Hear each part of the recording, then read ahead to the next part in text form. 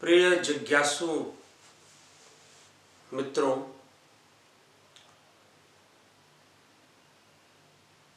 दर्शन का विषय जो भारत में विकसित हुआ, दर्शन शब्द का ही अर्थ है यथार्थ को जानना, यथार्थ को समझना, जो सत्य है। उसको जानो। उसे देखो, उसका साक्षात्कार करो। सत्य का साक्षात्कार ही दर्शन है। बहुत तरह के विचार भारतीय भूमि पर, भारत की इस पवित्र भूमि पर विकसित हुए। बहुत तरह की विचारधारा, बुद्ध की, महावीर की आदि गुरु शंकराचार्य की उपनिषदों से शास्त्रों से, वेदों से। जो विचारधाराएँ जो विकसित हुई,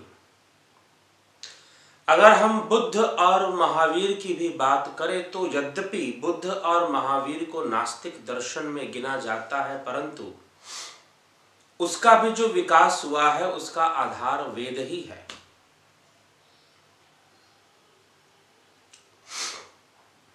उपनिषदों का विकास जो हुआ उसका आधार भी वेद है। और फिर उपनिषदों से ब्रह्म सूत्र की रचना हुई ब्रह्म सूत्र से वेदांत दर्शन का प्रसार हुआ, विस्तार हुआ। तो चर्चा हम वेदांत पर कर रहे थे आदि गुरु शंकराचार्य के विचारों पर, उनके तर्कों पर, कि किस प्रकार से उन्होंने अपने तर्क रखे। और मुख्य रूप से वह जो समय था बुद्ध की विचारधारा का प्रसार था, बौद्ध मत का प्रसार था, लेकिन बौद्ध मत क्या गलत था? अगर हम आदि गुरु शंकराचार्य के दर्शन को समझने का प्रयास करेंगे तो हम पाएँगे कि बुद्ध के मत से बहुत कुछ मिलता जुलती ही बातें थी। बौद्ध विद्वानों का अगर किसी ने सबसे ज़्यादा खंडन किया तो वो मीमांसा दर्शन पूर्व मीमांसा के कुमारिल भट्ट हुए, जिन्होंने शबर भाष्य दिया था, भाष्य सूत्रों को, मीमांसा भाष्य सूत्रों को लिखा। कई ग्रंथ लिखे, कई ग्रंथों की रचना कुमारिल भट्ट जी के द्वारा, प्रभाकर मिश्र जी के द्वारा जो हुए। उनसे बौद्ध विचारधारों का भी खंडन हुआ आदि गुरु शंकराचार्य के विचारों से भी हुआ। तो प्रश्न ये उठता है कि खंडन की आवश्यकता क्या पड़ी? बुद्ध के विचार, विचारों का खंडन क्यों? किस लिए? होना ही नहीं चाहिए। मेरे अपने व्यक्तिगत विचारधारा के अनुसार। क्योंकि बुद्ध ने कुछ गलत कहा हो, समाज को कोई गलत शिक्षा दी हो, ऐसी तो कोई बात थी नहीं तो फिर खंडन किस लिए? बुद्ध का काट किस लिए? क्या आवश्यकता पड़ गई? कुमारिल भट्ट को कि उन्होंने बौद्ध मत का काट करना शुरू किया, क्या आवश्यकता पड़ गई? आदि गुरु शंकराचार्य को कि उनकी उनके निशाने पर भी मुख्य रूप से बौद्ध रहते थे। यद्यपि उस समय बहुत सारे लोगों ने आदि गुरु शंकराचार्य को छद्म बुद्ध भी माना। डिस्गाइस बुद्धा के नाम से भी वो जाने जाते। क्यों? बुद्ध की ही विचारधारा को नए तरीके से वैदिक मत के अनुसार, वेदों के प्रमाण के अनुसार रखने का प्रयास। कुछ लोगों का मानना ऐसा है, आदि गुरु शंकराचार्य के विषय में, कि आदि गुरु शंकराचार्य ने बुद्ध जैसी ही विचारधारा को वैदिक प्रमाणों के साथ प्रस्तुत किया। शंकराचार्य के विचार ही यह बात प्रमाणित कर देते हैं कि बुद्ध का बौद्ध मत की विचारधारा जिसको हम आज बुद्धिज्म कहते हैं, आज एक अलग धर्म के रूप में माना जाता है। यद्यपि धर्म तो एक ही है, कैसे एक होता है धर्म? और ये जो नाम है, ये मत है, ये संप्रदाय है, लेकिन धर्म तो एक ही हुआ करता है। तो हम इस तथ्य को समझने का प्रयास करते हैं कि खंडन की आवश्यकता क्यों पड़ी? क्या आवश्यकता थी? कि कुमारिल भट्ट ने आचार्य कुमारिल भट्ट ने बौद्ध विद्वानों को अपना निशाना बनाया। बौद्ध आचार्यों को अपना निशाना बनाया। ना, नालंदा के कुलपति से जाकर कुमारिल भट्ट ने शास्त्रार्थ किया था। और शास्त्रार्थ में पराजित भी किया था। क्या आवश्यकता पड़ी आदि गुरु शंकराचार्य को बौद्ध मतों पर अपना वो करने का, अपना मत देने का, तर्क देने का, या फिर जो पुस्तकें लिखी गई उनमें इस प्रकार का वर्णन। जब एक ही विचारधारा थी तो खंडन, मंडन, तर्क, वितर्क, कुतर्क का कोई मतलब नहीं बनता। लेकिन होता क्या है, इस बात को समझिएगा। आज हम जिस विषय पर चर्चा करने वाले हैं, हम उसकी भूमिका बना रहे हैं। अभी उस विषय पर हम आए नहीं हैं। होता क्या है कि कोई मत जब चलता है, महापुरुष आते हैं, दिव्य पुरुष आते हैं, वो कोई अपने अनुभव से, अपनी साधना के अनुभव से, अपने ज्ञान से जो वो जानते हैं जिन सूक्ष्म तत्वों का साक्षात्कार करते हैं, उसके बारे में समाज को बताते हैं ताकि मनुष्य जीवन अच्छा हो सके, सुंदर हो सके। जीवन अच्छी तरह से हम व्यतीत कर सके, हमारा जीवन और अच्छा हो। हम जीवन को समझ सके, मृत्यु के रहस्य को जान सके, इस उद्देश्य से वो बताते हैं। लेकिन अनुयायी जो होते हैं, जो फॉलोअर्स होते हैं, वो उसको अपने ढंग से पकड़ते हैं और बाद में जाकर विकृतियाँ आनी शुरू हो जाती हैं उन्हीं मत को लेकर। क्योंकि हर तथ्य के दो पहलू होते हैं, नकारात्मक और सकारात्मक। हम उसको किस प्रकार से ग्रहण करते हैं? यह बहुत ही सूक्ष्म विषय है, ये और यथार्थ है कि कोई बात, मान लीजिए, एक शब्द है, एक वाक्य है, घूस लेना देना मना है। अब किसी ने इसको पकड़ा, सारे शब्द अक्षर वही रहेंगे, घूस ले, ना देना मना है। घूस ले, ना देना मना है। लेना को तोड़ दिया, ले कर दिया, ना कर दिया, बात बदल गई। बात बदल गई। तो लोग गुरु आज्ञा या फिर महापुरुषों की बातों को कई बार इस तरह से ले लेते हैं। और जब इस तरह से बातों को ले लेते हैं तो फिर होता क्या है कि समाज में विकृति आती है उन्हीं बातों के कारण। उन्हीं तथ्यों के कारण विकृति आती है। और जब विकृति आती है तो फिर आवश्यकता होती है कि उन तथ्यों का ही खंडन हो। जब खंडन होता है तो सत्य क्या है? कि वो तथ्य अपनी पूर्णता को प्राप्त करते हैं अपने ही खंडन से। ये बड़ी ही रहस्यमयी बात है। ये कौन सी बात हुई कि भाई जिसका खंडन हो गया, वो अपनी पूर्णता को प्राप्त कर लेगा? लेकिन समझने की आवश्यकता है। इस प्रकार से बुद्ध जो चाहते थे, वही कार्य आदि गुरु शंकराचार्य कर रहे हैं। सत्य तो ये है। वही कार्य आचार्य कुमारिल भट्ट करना चाहते हैं। बुद्ध के आदर्शों को ही स्थापित करना चाहते हैं। लेकिन बहुत लंबे समय से बौद्ध मत का प्रसार और बौद्ध मत एक राजनीतिक हथियार बन के रह गया था। राजनीति का हथकंडा, उसके नाम पर राजनीति चलती थी। जो वहाँ से कह दिया गया, वो सही हो गया। हिंसा भी होती थी, बुद्ध अहिंसा के प्रचारक थे। और उनके नाम पर, अहिंसा के नाम पर हिंसा कर देना। राजनीति में अक्सर ऐसा होता है। कोई बड़ी बात नहीं। तो इसी प्रकार से शंकराचार्य का जब मत विकसित हुआ तो उसमें जो बातें थी, अद्वैत वेदांत की अयमात्मा ब्रह्म, अहम ब्रह्मास्मि, मैं ही ब्रह्म हूँ। यह संपूर्ण संसार मिथ्या है और माया है। इसके चक्कर में मत पड़ो। और वो अद्वैत, परमात्मा अद्वैत है, ब्रह्म अद्वैत है, उसके जैसा दूसरा कोई नहीं है। वह निर्गुण है, निराकार है, उसके अंदर कोई गुण नहीं है। इसलिए हम ब्रह्म को मानते हैं। हम किसी, यद्यपि आदि गुरु शंकराचार्य को आप पूर्णतः पढ़ेंगे, गंभीरता से पढ़ेंगे तो वहाँ पर हर तथ्य का उत्तर दिया हुआ है। लेकिन समाज में एक प्रसार हुआ। ब्रह्मवाद और मायावाद का। कि यह संसार मिथ्या है, यह संसार माया है, इस संसार में कुछ नहीं रखा है, ब्रह्म सत्यम, जगन मिथ्या, यह विचारधारा प्रसारित हो, इसलिए छोड़ो संसार को, घर बार छोड़ो, सब कुछ छोड़ो और ब्रह्म के उपासना में लग जाओ। अहम ब्रह्मास्मि, स्वयं को ही ब्रह्म मानना शुरू कर दो। इस तरह की विचारधारा का प्रयास अद्वैत के अनुयायियों के द्वारा होने लगा। और जब इस तरह की विचारधारा का प्रसार होने लगा, यद्यपि बातें सत्य है, लेकिन ब्रह्म आदर्श के रूप में है, यथार्थ के रूप में नहीं है। ये गुण बातें हैं। अब ब्रह्म आदर्श के रूप में है, लेकिन ब्रह्म जो है, उस ब्रह्म को बिना ब्रह्म बने कोई कहे कि अहम ब्रह्मास्मि, सब कुछ तो ब्रह्म ही है, आत्मा भी ब्रह्म है, अयम आत्मा ब्रह्म। तो फिर यह संसार तो मिथ्या है, ईश्वर की बातें भगवान को मानना भी मिथ्या है। हर चीज़ मिथ्या, देवी देवताओं को मानना भी मिथ्या। कुछ इस प्रकार की बातें अद्वैत के अनुयायियों में, जो अपने आप को अद्वैत का अनुयायी मानते थे, उनमें ये बातें प्रसार होने लगी और लगभग कई वर्ष 500 वर्ष निकल गए। उस समय जब इस तरह की बातों का प्रसार अत्यधिक हो गया सब कुछ माया कह देना, संसार को माया बोल देना, परिवार को माया बोल देना, सब कुछ माया है माया है, भगवान भी माया में है, ईश्वर भी माया में है, सत्य तो ब्रह्म है, ब्रह्म सत्यम जगन मिथ्या लेकिन ये बातें तो बातें हैं ना भाई, क्या आप उस ब्रह्म तक पहुँच गए?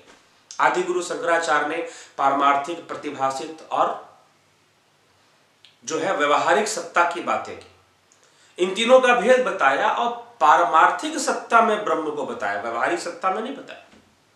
व्यवहारिक सत्ता में आदि गुरु शंकराचार्य ने ईश्वर की सत्ता स्वीकार की है, लेकिन उसको भी इस व्यवहारिक सत्ता में नश्वर बताया है। ब्रह्म को निर्गुण बताया है, निराकार बताया अब इस तरह की जो बातें थी, जब उसका विस्तार हुआ, कोई भी व्यक्ति जो टकराता, बोलता, अहम ब्रह्मास्मि, मैं ही ब्रह्म हूँ। मैं ही ब्रह्म हूँ। अयम आत्मा ब्रह्म, सब कुछ ब्रह्म ही है भाई। फिर क्या फ़र्क करना, क्या वो करना? एक विकृति सी समाज में फैलने लगी, क्योंकि बिना ज्ञान के किसी तथ्य को स्वीकार किया है। उपासना का मार्ग, ध्यान का मार्ग आदि गुरु शंकराचार्य ने दिया था, लेकिन वेदांत, अद्वैत वेदांत के अंदर बातें तो सारी बताई गई, लेकिन किसी खास चीज़ पर ज़्यादा फोकस ब्रह्म। निर्गुण है, निराकार है उस पर फोकस ज़्यादा, लेकिन उस निर्गुण निराकार तक पहुँचने का जो मार्ग है, उस पर फोकस कम रह गया। और कोई भी व्यक्ति बोल देता, अहम ब्रह्मास्मि, मैं ही ब्रह्म हूँ। तो अब ये जब विचारधाराएँ जब आने लगी तो इसी इसमें एक विकृति आ गई समाज के अंदर। और इस विकृति को दूर करने के लिए हम उन्हें अवतार कहें, हम उन्हें अंशावतार कहें। किस रूप में? किताबों के अंदर बहुत कुछ लिखा जाता है। स्वामी रामानुजाचार्य इस धरती पर आते हैं। और स्वामी रामानुजाचार्य, यद्यपि जब हम रामानुजाचार्य को पढ़ते हैं विशिष्टा अद्वैत जब हम विशिष्टा अद्वैत का अध्ययन करते हैं तो विशिष्टा अद्वैत में कुछ बातें बहुत ही महत्वपूर्ण हैं और उसमें खंडन मिलता है अद्वैत मत का। जो शंकर के द्वारा, आदि गुरु शंकराचार्य के द्वारा जो अद्वैत मत प्रस्तुत गया, सब बातों का खंडन नहीं मिलता। लेकिन कई बातों का खंडन मिलता है। तो अब प्रश्न उठता है कि रामानुजाचार्य, जब आप, इसलिए जब आप ये वीडियो जब आप देखते हैं दिव्य सृजन समाज के द्वारा, दर्शन शास्त्रों के ऊपर ये चर्चा चल रही है, हमारी वेदांत ही चल रहा है अभी तक, क्योंकि वेदांत का विस्तार बहुत ज़्यादा हुआ। अभी एक वीडियो वेदांत पर और आएगा। तो ये वेदांत का ही एक अंग है, अद्वैत और फिर विशिष्टा अद्वैत, फिर द्वैत, फिर फिर द्वैता अद्वैत इस तरह से कई हैं। चार, पाँच भाग ऐसे आते हैं। तो एक वीडियो में बाकी सारे भागों को समेटा जाएगा। लेकिन विशिष्टा अद्वैत बहुत ही महत्वपूर्ण है, गुण है। इसको समझने की आवश्यकता है। तो हमारी जो आध्यात्मिक समझ है, वो विकसित हो जाएगी। अभी पीछे किसी ने प्रश्न किया कि आप हमें बताएँ कि कैसे परीक्षा के अंदर। तो दिव्य सृजन समाज एक आध्यात्मिक संस्था है, सोसाइटी रजिस्ट्रेशन एक्ट के अंतर्गत। समाज में आध्यात्मिकता का प्रसार और सही विधि से लोगों को अध्यात्म समझाना, अध्यात्म और धर्म को लेकर जो बातें प्रचलित हैं और जिसके कारण समाज भ्रमित रहता है, उन बातों को समझाने का प्रयास करना, आध्यात्मिक समझ पैदा करना, समाज के को देना, आध्यात्मिक ज्ञान से समाज को पोषित करना यह हमारा उद्देश्य है। दर्शन शास्त्रों की भी चर्चा इसी उद्देश्य से की जा रही है। अतः हम समझने का प्रयास करें कि हम इन बातों को समझ लें आपके अंदर एक आध्यात्मिक समझ हो और ये जो जो भी बातें हैं आपके आध्यात्मिक विकास में सहायक हो सके, इस उद्देश्य से बातों को रखा जा रहा है। हाँ। जो दर्शन शास्त्र के छात्र हैं पीएचडी कर रहे हैं एमए कर रहे हैं बीए कर रहे हैं फिलॉसफी के अंदर इंडियन फिलॉसफी में, उनको भी इस वीडियो से सहायता मिलेगी। लेकिन हम अपने जो विचार यहाँ प्रस्तुत कर रहे हैं, वो उनके पैटर्न पर आधारित नहीं है। कोशिश रहती है कि उनका भी जो विषय है, पढ़ाई लिखाई वाला, वो भी कवर हो, लेकिन वहाँ पर बातों को रखने का तरीका बहुत अलग है। अगर आप फिलॉसफी की बुक पढ़ेंगे तो आपको ऐसा लगेगा जैसे रामानुजाचार्य के जो विचार थे वो शंकर के विरुद्ध थे, आदि गुरु शंकराचार्य के विरुद्ध थे। जैसे कि रामानुजाचार्य ने लक्ष्य बना रखा था कि आदि गुरु शंकराचार्य के हर विचारों का काट करना महापुरुष या भक्त जिन्हें हम कहते हैं प्रभु के, वो कभी यह लक्ष्य लेकर नहीं चलते। ध्यान रखिए। हाँ वो विकृतियों को ज़रूर दूर करते हैं। और विकृतियों को दूर करने के लिए बार बार ऐसे महापुरुष इस धराधाम पर अवतरित होते हैं, वो आते हैं। अब अवतरित होना, शंकर के विचारधारा में, शंकर के दर्शन में, आदि गुरु शंकराचार्य के दर्शन में अवतारवाद का महत्व नहीं था, ब्रह्म कभी अवतरित नहीं होता। इसलिए विशिष्टा अद्वैत इसमें अवतार है। इसमें ईश्वर ही ब्रह्म है, इसकी विशेषता ये है। और ऐसा कहने की आवश्यकता क्या पड़ी? यद्यपि ईश्वर ही ब्रह्म है, इस बात को मना तो आदि गुरु शंकराचार्य का अद्वैत भी नहीं करता। लेकिन वो ये कहता है कि ईश्वर का अस्तित्व व्यवहारिक सत्ता में ईश्वर सबसे बड़ी ताकत है, शक्ति है। लेकिन पारमार्थिक सत्ता में ब्रह्म सर्वव्यापी है, ईश्वर सर्वव्यापी नहीं है। ब्रह्म इस, लेकिन रामानुजाचार्य के विशिष्टा अद्वैत में क्या है? ईश्वर ही ब्रह्म है। कोई अलग से ब्रह्म ना और ब्रह्म को निर्गुण अगर कहा गया है तो रामानुजाचार्य, स्वामी रामानुजाचार्य ने कहा कि निर्गुण कहने का अर्थ यह है कि उसके अंदर दुर्गुण नहीं है, लेकिन गुण तो है। गुण तो है। गुण नहीं था ईश्वर के अंदर। इसलिए ईश्वर गुणवान है, ब्रह्म गुणवान है। पहली बात, ईश्वर ही ब्रह्म है। ब्रह्म ईश्वर को अलग अलग मत करो। ईश्वर गुणवान है, निर्गुण मत कहो। निर्गुण अगर कहा गया तो उसका तात्पर्य यह है कि उसके अंदर दुर्गुण नहीं है, गुण है। रामानुजाचार्य अपने तर्क देते हैं इस प्रकार से। ईश्वर क्या व्यक्तित्वहीन है? आदि गुरु शंकराचार्य का ब्रह्म जो है, व्यक्तित्वहीन है, लेकिन रामानुजाचार्य का ब्रह्म व्यक्तित्ववान है। उसके अंदर कोई भेद नहीं होता, तीन प्रकार के भेद, सजातीय, विजातीय और स्वगत भेद। लेकिन रामानुजाचार्य ने कहा कि ब्रह्म के अंदर स्वगत भेद निहित है। यद्यपि आदि गुरु शंकराचार्य के अनुसार कोई भेद नहीं है। तीनों भेदों में से किसी भेद का की स्थिति वहाँ नहीं बनती है ब्रह्म में। लेकिन रामानुजाचार्य के ब्रह्म व्याख्या में स्वगत भेद है, क्योंकि ब्रह्म ही जीव का रूप, जीव के रूप में, ईश्वर के रूप में चित्त अचित और ईश्वर के रूप में जीव ही है, ईश्वर ही है, ब्रह्म ही है। ब्रह्म के तीन रूप बताए, तीन भाग बताए, ईश्वर, चित्त और अचित जीव और अचित तो ये जो तीन भेद हैं, ये ईश्वर के अंदर है, इसलिए स्वगत भेद ईश्वर में है। स्वगत भेद ईश्वर के अंदर निहित है। तो रामानुजाचार्य जी का जो विशिष्ट वाद था, विशिष्टा अद्वैत, ये जो था, ये जो विचारधारा थी, वास्तव में ये आई क्यों? बहुत बड़ा कारण था और ये बहुत ज़रूरी था इसका आना। लेकिन जब आप जो फॉर्मल स्टडी है फिलॉसफी की, जो आप परीक्षा देने के लिए पढ़ते हैं, आप कुछ आईएएस की तैयारी कर रहे हैं, वहाँ पढ़ रहे हैं। तो जब आप फॉर्मल स्टडी करेंगे, क्योंकि यहाँ पर हमारे बताने का उद्देश्य आध्यात्मिकता की समझ पैदा करना है ना कि शास्त्रार्थ करना या शास्त्रार्थ को बढ़ावा देना। लेकिन जब आप वहाँ पर पढ़ेंगे तो रामानुजाचार्य का शास्त्रार्थ ही होता है अद्वैतवादियों से। उनको मायावादी भी कहा जा रहा है कि वो जगत को माया मानते हैं। क्योंकि माया का अस्तित्व नहीं स्वीकार करते हैं रामानुजाचार्य। इस जगत को मिथ्या नहीं मानते हैं। बहुत सुंदर तर्क दिया उन्होंने इस बात पर कि रस्सी अंधकार में सर्प नज़र आती है। क्यों नज़र आती है? लेकिन यह तो मिथ्या है, वो तो रस्सी है, वो सर्प नहीं है। ये बहुत बड़ा तर्क था आदि गुरु शंकराचार्य के अद्वैत मत में। इसी प्रकार से ये जगत मिथ्या है।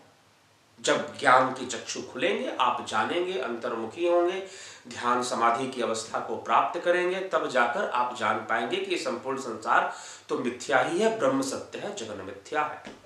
लेकिन बिना जाने कई लोगों ने अहम ब्रह्मास्मि कहना शुरू कर दिया। बिना उस ध्यान समाधि तक पहुँचे। कई तरह की विकृतियाँ, मायावाद फैलना शुरू हो गया। तो रामानुजाचार्य ने कहा, स्वामी रामानुजाचार्य का मत था कि यह संसार माया नहीं है। जब रस्सी का तर्क आया कि जिस प्रकार से रस्सी तो वो तो मिथ्या है, वो तो रस्सी है, वो सांप तो नहीं है। तो बड़ा सुंदर तर्क दिया स्वामी रामानुजाचार्य उन्होंने कहा कि वो पूर्णता मिथ्या नहीं है। रस्सी के अंदर कुछ ऐसे गुण विद्यमान हैं, जिसके कारण वो सर्प के समान दिख सकता है और इसी कारण से वो सर्प की तरह दिख रहा है तो वो पूर्णतः मिथ्या नहीं है। अद्भुत तर्क शक्ति थी। रामानुजाचार्य का व्यक्तित्व अद्भुत रूप से क्रांतिकारी व्यक्तित्व था और समाज के अंदर एक क्रांति लाकर रख दिया उस विचारधारा ने विशिष्टा अद्वैत की विचारधारा। संपूर्ण समाज के अंदर जो भक्ति की मान्यता आई कि भक्ति करनी चाहिए। भक्ति का जो प्रचार हुआ, वो उसके जो सूत्रधार हैं, उसकी जो नींव रखने वाले हैं, उस नींव पर फिर आगे कई विद्वान हुए, कई भक्त हुए, माधवाचार्य हुए निम्बकाचार्य की भी चर्चा आती है चैतन्य महाप्रभु हुए। उन सबने उस पर चर्चा करनी शुरू की, उसका विस्तार होना शुरू किया। भक्ति का जो कॉन्सेप्ट था, ये स्वामी रामानुजाचार्य ने समाज को दिया। कि भक्ति क्या है? ईश्वर गुणवान है। महत्वपूर्ण क्या है? चलो मान लिया हमने आदि गुरु शंकराचार्य के जो मत है कि ब्रह्म सत्यम, जगन मिथ्या, ब्रह्म, वो गलत नहीं है, वो अपनी जगह पे बात सही है, लेकिन सारा फोकस उस निर्गुण निराकार पर हो गया। जैसे आज भी बहुत बड़ा समाज आप हैं लोग, जो सीधा कहते हैं कि परमात्मा तो निराकार है, निर्गुण है। इसीलिए आप वो वीडियो सुनिए, निर्गुण निराकार के ऊपर। ईश्वर निराकार या साकार, इसी में कोशिश करेंगे, इस डिस्क्रिप्शन में उसका लिंक भी ज़रूर जोड़ दिया जाएगा। वहाँ पर क्यों निराकार स्वीकार नहीं किया जा रहा? क्यों कहा जा रहा? है क्योंकि वो आपकी कल्पना मात्र है। बिना साधना के, बिना समाधि अवस्था, इसलिए वेदांत, जो अद्वैत वेदांत है, उसकी पूर्णता योग से है, अष्टांग योग से है। तो शंकर के मत में, शंकराचार्य के मत में जो मार्ग चाहिए, उस ब्रह्म तक पहुँचने का जो मार्ग था, उस पर फोकस। तो हुआ क्या कि बातें इधर से उधर होने लगी, व्यवहारिक सत्ता में बातें हम कर रहे हैं। जैसे कि एक, मान लीजिए कि मेंढक कुएँ में है और वो ये कहे कि चारों तरफ़ तो वायु का साम्राज्य है, मैं भी वायु हूँ, ये भी वायु है, मैं भी वायु कारण सब कुछ वायु है, लेकिन बैठा तो कुएँ के अंदर तो लोगों के अंदर कुछ इस तरह की विकृति, सीधा हर चीज़ को माया कह देना कि संसार माया है, ये माया है, सब कुछ छोड़ो। और उसमें कुछ ऐसे आडंबरी लोग भी हो गए कि सबका कुछ छुड़वाकर, सारे कुछ ऐसे भी साधु हो गए जो कि दूसरों का छुड़वाकर अपने पास रख लेते सब कुछ। तो कई तरह की विकृति समाज में फैलनी शुरू हो गई। किसके कारण? जगत को माया बोल दो, और ब्रह्म तो निर्गुण है, निराकार है, फिर क्यों किस क्यों किसी को पूजना, क्यों भगवान को मानना, क्यों देवी देवताओं को पूजना? बहुत तरह की बातें। लेकिन जब हम आदि गुरु शंकराचार्य ने समझाने का प्रयास किया, परमार्थिक सत्ता, प्रतिभाषी सत्या और व्यवहारिक सत्ता हम सब का ज़्यादातर समय व्यवहारिक सत्ता में बीतता है, हम पारमार्थिक सत्ता में नहीं रहते, व्यवहारिक में रहते हैं। और हमें अगर अगर उस ब्रह्म तक पहुँचना है तो व्यवहारिक सत्ता से प्रारंभ करना है। और व्यवहारिक सत्ता में ईश्वर की सत्ता होती है, ईश्वर सगुण होता है। इसलिए यह स्वीकार करना चाहिए कि ईश्वर ब्रह्म है और ईश्वर भक्ति से प्राप्त होता है। बस यही बात रामानुजाचार्य समझाना चाहते थे। जो ब्रह्म तक पहुँचना चाहता है, उसे ईश्वर की प्राप्ति करनी पड़ेगी। अगर ईश्वर ब्रह्म में भेद है, यद्यपि विशिष्टा अद्वैत में रामानुजाचार्य की विचारधारा में, विशिष्टा अद्वैत की विचारधारा में ईश्वर और ब्रह्म को एक ही बताया गया है, यद्यपि आदि गुरु शंकराचार्य की विचारधारा में अद्वैत मत में ईश्वर ब्रह्म को अलग अलग बताया गया है। ब्रह्म को पारमार्थिक सत्ता में माना गया है और ईश्वर को व्यवहारिक सत्ता में माना गया है। लेकिन यह सत्ताओं के अनुसार वो है। लेकिन ये बात अद्वैत मत भी स्वीकार करता है कि व्यवहारिक सत्ता में ईश्वर ही सबसे बड़ी शक्ति है। और विशिष्टा अद्वैत इसी बात पर फोकस करता, वो नहीं जाता, पारमार्थिक सत्ता में क्या है, प्रतिभाषी सत्ता, ये ये जो व्यवहार में है, व्यवहार में है कहने का अर्थ समझिए, क्या व्यवहार में है, जैसे कि मानिए कि सत्य क्या है, क्या सूर्योदय होता है, क्या सूर्यास्त होता है, सत्य पूछिए तो सूर्योदय और सूर्यास्त नामक कोई घटना नहीं घटती, सूर्योदय शब्द का अर्थ क्या हुआ, सूर्य का उदय होना सूर्यास्त का अर्थ हुआ सूर्य का अस्त होना। लेकिन सूर्य देव ना कभी उदय होते हैं और ना ही सूर्य देव कभी अस्त होते हैं। लेकिन इस व्यवहारिक जगत में, जहाँ हम रहते हैं, जहाँ हमारा अस्तित्व है इस धरती के ऊपर, धरती घूमती है, इस कारण से हमें क्या नज़र आता है? सूर्योदय हो रहा है और सूर्यास्त हो रहा है। अगर हम अंतरिक्षीय सत्ता की बात करें, संपूर्ण ब्रह्मांडीय सत्ता की बात करें तो वहाँ पर कोई सूर्योदय और सूर्यास्त नहीं है।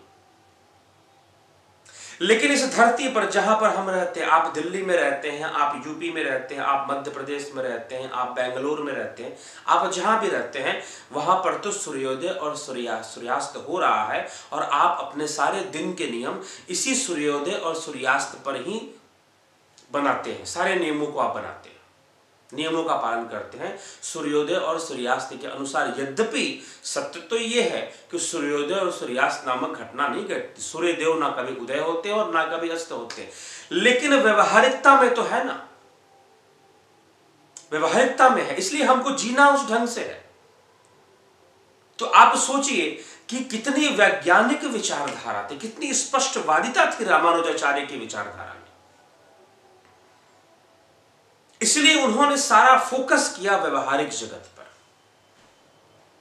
व्यवहारिक जगत पर कि क्योंकि आपको कर्म, अगर मान लीजिए आपको पारमार्थिक सत्ता तक पहुँचना भी है तो काम तो व्यवहारिक सत्ता से शुरू करना पड़ेगा ना। यहाँ से फोकस हट गया अद्वैतवादियों का।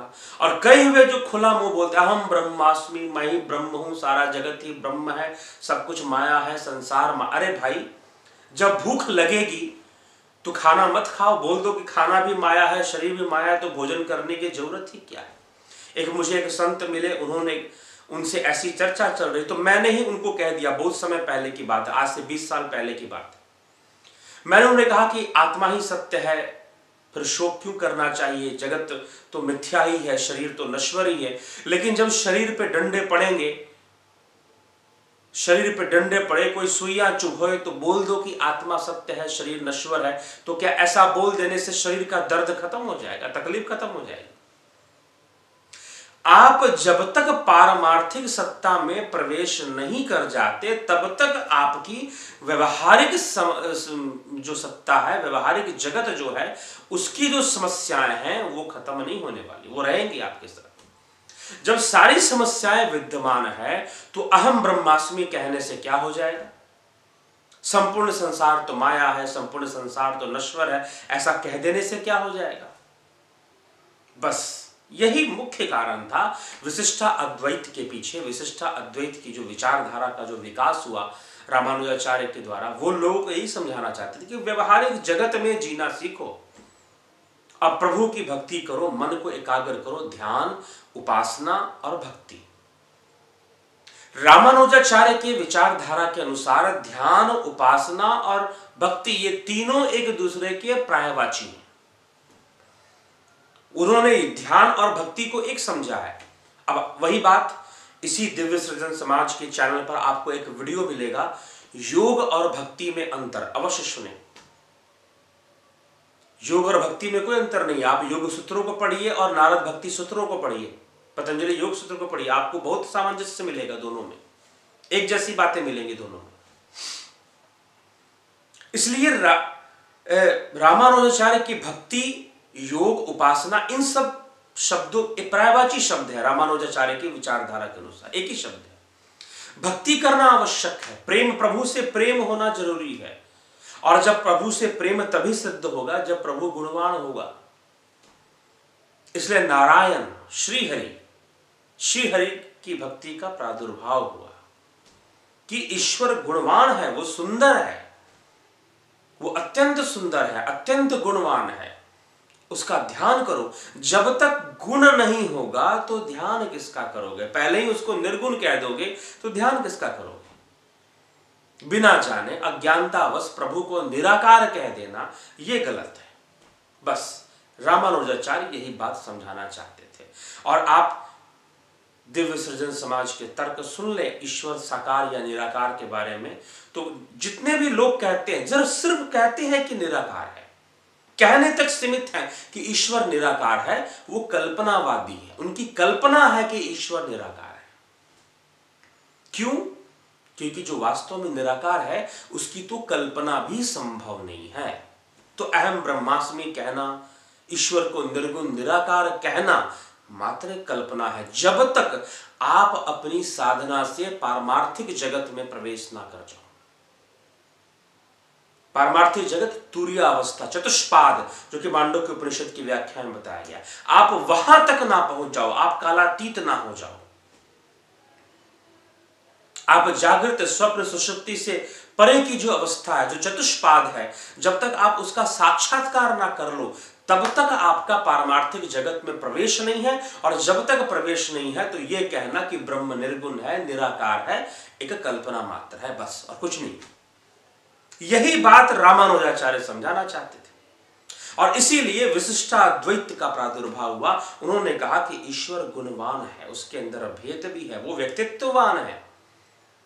वो व्यक्तित्ववान होगा, गुणवान होगा, तभी तो उसका ध्यान होगा। व्यवहारिक सत्ता में ये बात बिल्कुल सटीक है, सौ प्रतिशत सटीक है, वैज्ञानिक है। वैज्ञानिक तथ्य है ये। जब तक किसी वस्तु के अंदर गुण नहीं होगा तो आप ध्यान किसका करोगे भाई?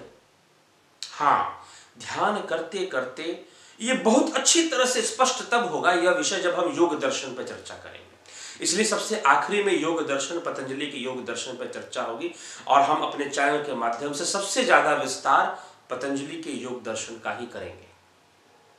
उसमें बहुत स्पष्ट होगा किस प्रकार से, क्योंकि तो पतंजलि ने सब कुछ अपने अंदर समाया हुआ है। कैसे? जब हम उस पर आएँगे तो हम हाँ वहाँ पर भी विकृति है। अनुयायियों में जो योग के अनुयायी हैं, उनके अंदर जो योग दर्शन की बातें करते हैं, जो पतंजलि की बातें करते हैं, उनमें विकृतियाँ हैं। फोकस सिर्फ़ कुछ चीज़ों पर हो जाता है, बाकी जितनी बातें पतंजलि ने बताई हैं, उस पर नहीं होता। तो बस यही केस था, जिसके कारण से विशिष्टा अद्वैत, रामानुजाचार्य का उद्देश्य आदि गुरु शंकराचार्य का खंडन नहीं था। बस वो व्यवहारिक बातें करना चाहते थे कि व्यवहारिक सत्ता में आओ, जहाँ बैठे हो वहाँ देखो। अगर हम ये मान ले, और ये बात सत्य भी है कि ना तो सूर्य उदय होता है, ना ही सूर्यास्त। तो क्या हम रात को जगना और दिन में सोना शुरू कर देंगे? नहीं। सोने का सही समय, यद्यपि सूर्य अपनी जगह पर है। पृथ्वी के घूमने के कारण ही ऐसा घटित हो रहा है, लेकिन हमारे व्यवहारिक जगत में, जिस जगत में हम रहते हैं, व्यवहारिकता में ये दिखाई देता है कि सूर्योदय होता है और सूर्यास्त होता है। इसलिए हम अपने दिन के नियम उसके अनुसार बनाते हैं। उसी प्रकार, ईश्वर गुणवान है, वो अवतरित भी होता है, वो अवतार भी लेता है। श्री हरि का अवतार होता है, नारायण अवतार धारण करते हैं। इसलिए रामानुजाचार्य विशिष्टा अद्वैत जो आया, ये वैष्णव मत का भी प्रारंभ यहाँ से माना जाता है, भक्ति का प्रारंभ भी यहाँ से माना जाता है। लेकिन अगर कोई ये कह दे कि ब्रह्म की सत्ता नहीं होती, बस इतना ही सब कुछ है, और इसके आगे कुछ नहीं है तो गलत होना शुरू हो जाएगा, बातें गलत होनी शुरू हो जाएँगी। जहाँ पर किसी खास चीज़ को हमने पूरा नहीं समझा, पूरी बात को नहीं पकड़ा, आधी अधूरी बात पकड़ी तो शुरुआत, योग की शुरुआत, ध्यान, उपासना, भक्ति की शुरुआत, व्यवहारिक जगत में भक्ति संभव है और उसी भक्ति से कोई पारमार्थिक जगत में प्रवेश करेगा। ब्रह्म की सत्ता में कोई प्रवेश करेगा। इस बात को समझना ज़रूरी इस तथ्य को जानना ज़रूरी इसलिए ये कह देना कि ये माया है वो माया है संसार नश्वर है। बात सही है गलत भी नहीं है। लेकिन व्यवहारिकता में जहाँ आप जी रहे हो इस पंचभूतों से बने इस शरीर में जहाँ आपको भूख लगती है जहाँ आपको प्यास लगती है ये कहने से सिद्ध नहीं हो जाएगा कि संसार नश्वर है और ब्रह्म सत्य है।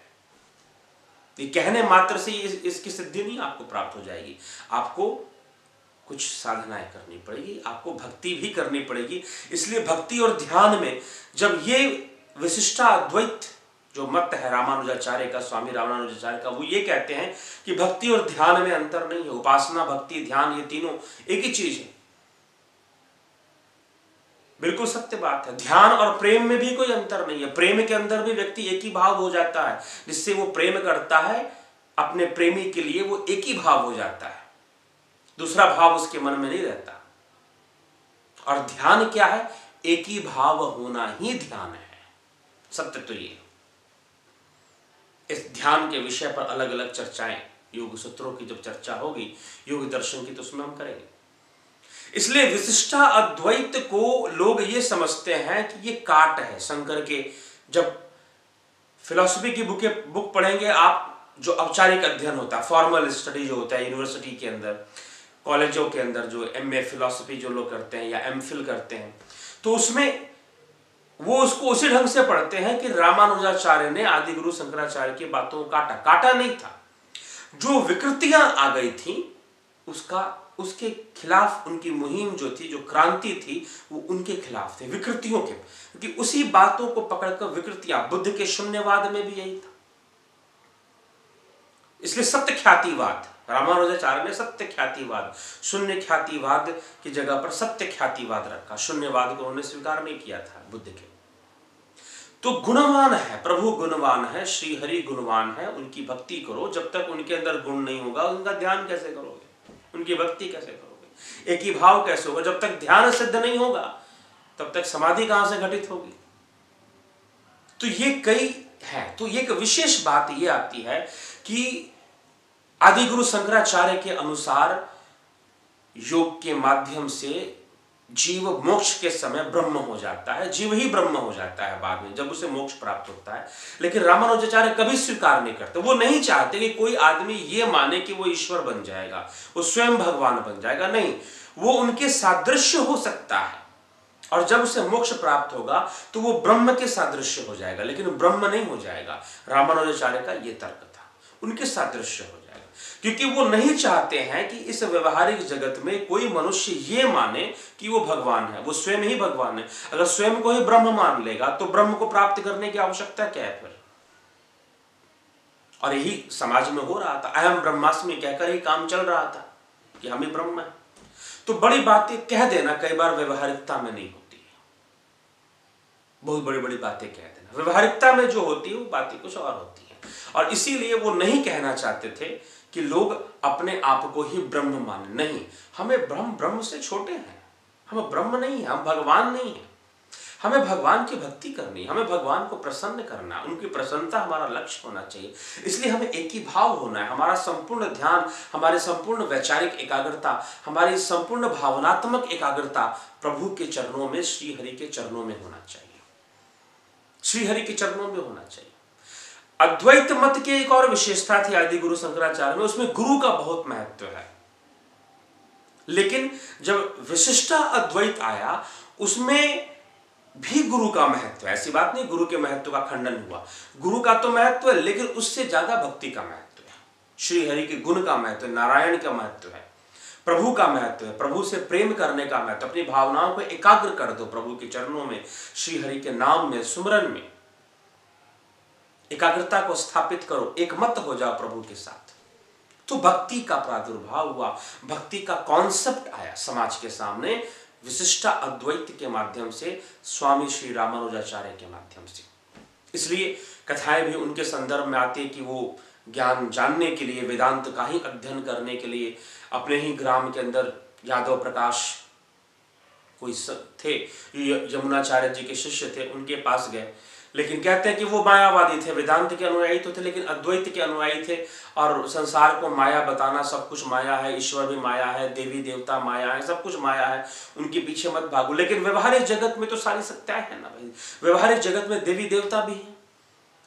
मीमांसा दर्शन जो यज्ञ हवन की चर्चा करता है, उसमें भी यही बात को स्वीकार है कि व्यवहारिक सत्ता में जहाँ आप रहते हो, वहाँ पर प्रकृति की सत्ता है और वेदों के अंदर प्रकृति की शक्तियों को, नवग्रहों को भी देवता के रूप में स्वीकार किया गया है। तो उनके प्रति जो कर्म होने चाहिए, वो हमें करने चाहिए। और इसी आधार पर कुमारिल, आचार्य कुमारिल भट्ट ने कर्म कांड की चर्चा की है। उसके अंदर छह प्रकार के कर्म कांड बताए गए। तो व्यवहारिक जगत में क्या है? तो वेदांत का जो व्यवहारिक पक्ष था, उसको उजागर करना, ये विशिष्ट अद्वैत के माध्यम से ये कार्य होता है। और उसको उजागर करना बहुत ज़रूरी हो गया था, क्योंकि अहम ब्रह्मास्मि कहकर पीछे हट जाना, निराकार, निर्गुण कह के पीछे हट जाना, और लोग समाज भ्रमित हो रहा था, रामानुजाचार्य को ऐसा लगा। और इसीलिए उन्होंने अपने गुरु से ही शास्त्रार्थ किया, यादव प्रकाश को ही, जो थे, यमुनाचार्य के शिष्य थे, उन्हीं को ही उन्होंने खंडित किया, और उन्हीं से पता चला कि यमुनाचार्य उनसे मिलना चाहते हैं और अपने गुरु के गुरु, एक तरह से गुरु के गुरु हुए। यमुनाचार्य जी कहने पर रामानुजाचार्य ने, स्वामी रामानुजाचार्य जी ने ब्रह्मसूत्र की भाष्य का रचना की, ब्रह्मसूत्र का भाष्य दिया। तो आदि गुरु शंकराचार्य के द्वारा भी भाष्य दिया गया, रामानुजाचार्य के द्वारा भी भाष्य दिया गया। गौड़पाद के द्वारा, योगी गौड़पाद के द्वारा मांडू के कार्य का, जिसको अद्वैत में ही मुख्य स्थान प्राप्त है। उपनिषदों को मुख्य स्थान विशिष्टा अद्वैत में भी प्राप्त है, उसका आधार भी उपनिषद ही था, लेकिन उन बातों को रखने का तरीका अलग था। वो अद्वैत मत के प्रचारकों की तरह नहीं था, इसलिए उन्होंने यादव प्रकाश के, की बातों का खंडन किया, और कहते हैं, खंडित होने के कारण वही जो कि मायावादी थे। अब यहाँ पर घटित क्या होता है? घटना बड़ी सुंदर कथा आती है कि जो यादव प्रकाश थे यमुनाचार्य के शिष्य और रामानुजाचार्य के गुरु हुए वो। तो उन्होंने एक षड्यंत्र किया कि रामानुजाचार्य को मरवा दिया। देखो, एक व्यक्ति ये मानता है कि सब कुछ तो माया है, और फिर उसमें हत्या का षड्यंत्र भी करता है। रामानुजाचार्य को मरवाने का षड्यंत्र होता है, और काशी जाते हैं, दक्षिण भारत, परम्बदूर। आपने सुना होगा परम्बदूर, जहाँ, परम्बदूरी जहाँ राजीव गांधी जी जहाँ पर गए थे, और वहाँ पर उनकी, उनका देहांत हुआ था। तो परम्बदूर के रामानुजाचार्य वहाँ से काशी, और उस समय जब साधन नहीं हुआ करते थे, आज तो ट्रेन चलती है, हवाई जहाज़ उड़ते हैं। साधन नहीं हुआ करते, तब उस समय वो पैदल चलकर यात्रा होती है, और ये प्लानिंग होती है, ये खड़यंत्र होता है, यादव प्रकाशा की रामानुजाचार्य का वध करवा दें, क्योंकि ये अद्वैत मत को नहीं मानता। तो ये, यही विडंबना तो थी। बौद्ध मत के साथ। पूरा बौद्ध मत को मानने वाले जो अनुयायी थे, वो राजनीति में लगे हुए थे। राजनीति में लिप्त थे और षड्यंत्र करते थे। बुद्ध के सिद्धांतों के विरुद्ध हो गए थे। और जैसे ही यादव प्रकाश के मन में आया कि मैं इसका, इसकी हत्या करवा दूँगा तो समझिए कि आदि गुरु शंकराचार्य के विरुद्ध हो गए सिर्फ़ नाम का, नाम की मान्यता नाम के हैं, अद्वैतवादी। तो क्योंकि आदि गुरु शंकराचार्य ने ऐसा कोई षड्यंत्र नहीं किया। अपनी हर बात को सिद्धि की ताकत से प्रमाणित किया सिद्धि की ताकत से। जब शास्त्रार्थ हुआ, मंडन मिश्र और उनकी पत्नी अर्धांगनी के साथ, भारती के साथ, तब भी उन्होंने पर काया प्रवेश की का प्रमाणित किया कि वो है क्या। इसलिए जो महापुरुष है, वो प्रमाणित करते हैं। उनको षड्यंत्र या इस तरह के हथकंडों की आवश्यकता नहीं पड़ती है। यादव प्रकाश ने षड्यंत्र किया, लेकिन वो बात पता चल गई रामानुजाचार्य को, और वो वहाँ से काशी पहुँचने के बाद वहाँ से वापस चलते हैं, और मात्र एक रात में ही, जहाँ पर पहुँचने के लिए महीनों लगे थे, एक रात में ही दोबारा परम मधुर कुछ ईश्वर की ऐसी कृपा होती है, कथा है उसके पीछे। फिर यमुनाचार्य जी के पास जाना, लेकिन जब तक पहुँचते हैं, तब तक उनके ऐसी कथा आती है कि मृत्यु ये कथा का विषय है उनके जीवन की। लेकिन जो मुख्य, जो विचारधारा थी, विशिष्टा अद्वैत की, बहुत ही महत्वपूर्ण थी उस समय में। उसको समझना बहुत ज़रूरी था। इसलिए भगवान को निराकार कह देना गलत है। गलत है। व्यवहारिक जगत में बिल्कुल गलत है। जब तक आप समाधि, ध्यान समाधि की अवस्था को नहीं प्राप्त करते और उसके पहले निराकार कहते रहना और कोई प्रयास नहीं करना उस ध्यान समाधि तक पहुँचने का तब तक कहना गलत है। यही इसी बात को रखने के लिए आदि गुरु शंकराचार्य ने विवेक चुड़ामणि में बहुत सुंदर लिखा है, न गच्छति बिना पाणम व्याधिर औखद शब्द था बिना अपरोक्ष अनुभव ब्रह्म शब्दैन मुच्यते।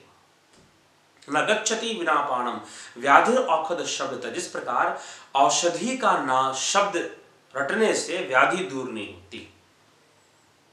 मीठा मीठा कहने से मुँह मीठा नहीं होगा, मिठाई खाने से मुँह मीठा होगा, कहने का तात्पर्य है। उसी प्रकार ब्रह्म ब्रह्म कहने से कोई ब्रह्म को प्राप्त नहीं कर लेगा। आदि गुरु शंकराचार्य ने समझाया लेकिन अद्वैतवादियों का फोकस उस बात पर ना होकर, सिर्फ़ इस बात पर था कि ब्रह्म पूर्ण सत्ता है, निराकार है, निर्गुण है, इसलिए किसी को मत मानो। माया है, ईश्वर भी माया है, भगवान भी माया है, देवी देवता माया है। ये सारी मायावी बातें हैं, नश्वर बातें हैं, परिवर्तनशील है, मिथ्या है, जगन मिथ्या है, ब्रह्म सत्यम है। इन बातों को लेकर मात्र समाज में इसका प्रसार करना, लेकिन खुद इसके यथार्थ तक नहीं पहुँचे तो लाभ क्या? आपने परमार्थिक सत्ता में प्रवेश ही नहीं किया और रटे जा रहे हैं कि ब्रह्म ही सर्वव्यापी है, ब्रह्म निराकार है, निर्गुण। उनके लिए ही ये ईश्वर साकार या निराकार, जो इसको समझना चाहते हैं, ज़रूर उसको सुने, ईश्वर साकार या निराकार को। आपको समझ में आएगा। तो हमारा उद्देश्य आध्यात्मिक समझ को विकसित करना है समाज में। हम उस आध्यात्मिकता अपने अंदर कैसे हम उसका प्रवेश करा सकें, उसको हम विकसित कर सके, हमारे अंदर हमारी चेतना कैसे विकसित हो सके, इसलिए इन सभी कॉन्सेप्ट को आपके समक्ष रखा जा रहा है। और जो अध्ययन कर रहे हैं, औपचारिक अध्ययन कर रहे हैं, दर्शन शास्त्रों का, वो भी इनको सुनेंगे तो उनका भी कॉन्सेप्ट क्लियर हो जाएगा, वास्तविकता है क्या? वो भी समझ जाएँगे, जान जाएँगे, क्यों भाई, कोई बात क्यों रखी गई? क्या रामानुजाचार्य को क्या आवश्यकता पड़ी? आदि गुरु शंकराचार्य अद्वैत मत के विचारों का खंडन करना, उनके तथ्यों को खंडन करने का आवश्यकता क्या पड़ी?